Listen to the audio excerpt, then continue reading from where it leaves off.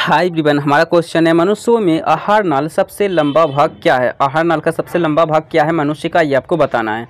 Option number ए है क्षुद्रांत्र, जिसे हम लोग छोटी आंत बोलते हैं। ऑप्शन नंबर बी है बृहद्रांत्र, जिसे हम लोग बड़ी आंत कहते हैं। ऑप्शन नंबर सी है अमाशय ऑप्शन नंबर डी है गर्सिका ठीक है?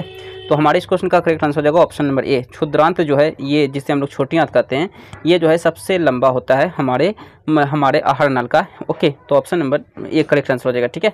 सो आज के लिए इतना वीडियो को लाइक करें चैनल को सब्सक्राइब करें। So thank you